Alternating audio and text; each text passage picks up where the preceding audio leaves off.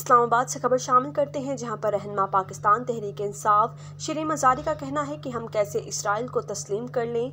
Israel इंसानियत का दुश्मन है। मजलिस वहदत अलमसलमिन के जेर तमाम योम अलकदस कॉन्फ्रेंस से खिताब करते हुए शरी मजारी का कहना था कि हम किसी सूरत कमज़ोर नहीं, हमें बतौर मुसलमान अपनी क़वत पर यकीन होना चाहिए।